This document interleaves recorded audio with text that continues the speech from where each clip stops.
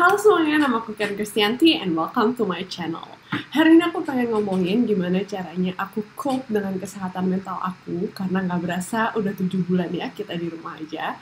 Uh, dan selama tujuh bulan ini jujur mood aku sempat naik turun dan makanya kenapa aku mau bikin uh, beberapa tips yang udah aku jalanin dan aku ngerasa mungkin bisa membantu teman-teman yang mungkin selama di rumah aja jadi uh, pusing, stres, moodnya nggak enak, Uh, mudah-mudahan uh, tips yang aku share ini membantu ya.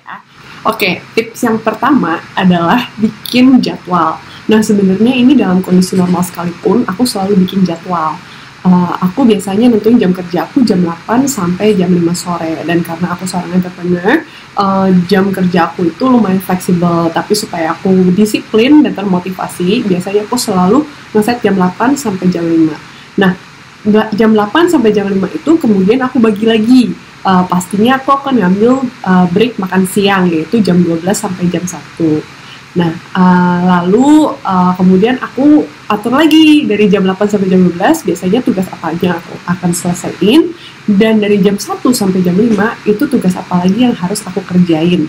Aku juga bikin jadwal uh, untuk semua pekerjaan aku, aku bikin to-do list uh, karena aku ngerasa kalau nggak di listin kayak gitu, biasanya aku suka lupa dan uh, itu membantu aku supaya nggak kelewatan apa pun sih. Jadi yang pertama adalah bikin jadwal.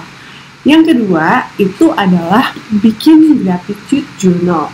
Nah, uh, gratitude itu adalah rasa terima kasih atau thank you aku ngerasa kayak di masa-masa seperti ini itu kayak banyak hal banget yang negatif dan yang bisa bikin kita jadi ngerasa lebih enak itu ketika kita ingat-ingat lagi apa aja sih hal-hal yang bisa kita syukuri gitu loh. Uh, dan menurut aku uh, jurnal ini sangat membantu. Jadi biasanya pagi-pagi uh, pas aku baru bangun tidur uh, aku kadang-kadang nyempetin kayak setengah jam atau satu jam dulu buat uh, bikin jurnal gratitude ini atau rasa terima kasih. Nah di situ aku ngelisin hal-hal yang aku syukuri. Contoh kayak masih sehat aja bersyukur, atau bisa di rumah masih bisa makan tiap hari aku bersyukur. Untuk keluarga mungkin, untuk teman-teman. Nah, aku saranin uh, untuk awal mungkin teman-teman bisa mulai dengan 10 hal yang kalian syukuri dan uh, makin lama kalian bisa nambahin bisa jadi 20 jadi 30 jadi 50 semakin banyak kita tulis itu biasanya akan sangat efek sama mental kita. Kita jadi ngerasa oh ternyata banyak ya hal yang aku bisa syukuri. Dan aku sebenarnya nggak cuma ngelakuin ini pas pagi-pagi doang tapi kadang kalau aku lagi down aku lagi ngerasa nggak enak aku juga bikin uh, list gratitude ini.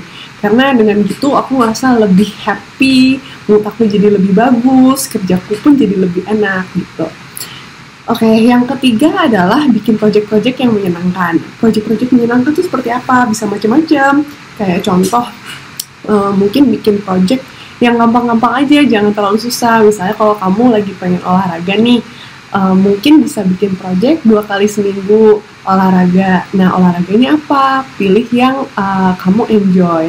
Jangan sekarang uh, informasi itu udah banyak banget dan udah gampang banget. Jadi kalau misalnya teman-teman pengen olahraga yoga atau misalnya uh, apa hit atau apa itu semua ada di YouTube. Jadi uh, bisa dimasukin ke jurnalnya project-project yang menyenangkan ini. Um, jadi contohnya misalnya, misalnya dua kali seminggu mau olahraga bisa ya misalnya tiap hari Selasa sama Kamis, hari Selasa yoga, hari Kamis mungkin hit gitu. Atau mungkin belajar bahasa baru. Seru banget gak sih? Kayak kemarin aku baru belajar uh, Mandarin lagi dikit-dikit. Uh, caranya gimana? Aku uh, belajar aja dari YouTube, dari internet, bahasa-bahasa uh, yang simple atau mungkin ubah keyboard di HP jadi ada bahasa Mandarinnya kan jadi lebih seru dan menyenangkan. Itu sih yang bikin aku jadi lebih happy atau mungkin bisa uh, bikin project, uh, bikin album keluarga mungkin atau bikin uh, iseng-iseng bikin lagu. Kalau kamu bisa nyanyi atau bisa main musik why not? Uh, tips yang ke terakhir atau yang keempat adalah connect with friends and family.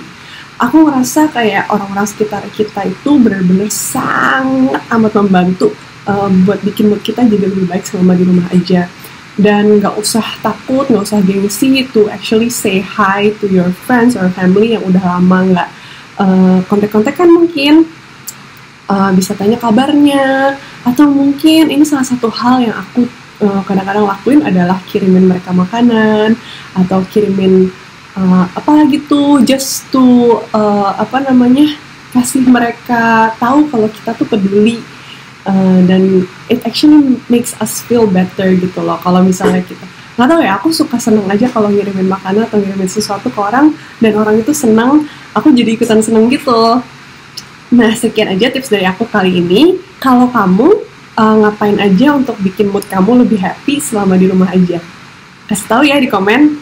Uh, buat teman-teman yang belum subscribe sub, uh, bantu support aku dengan subscribe like dan komen. See you on my next video. Bye bye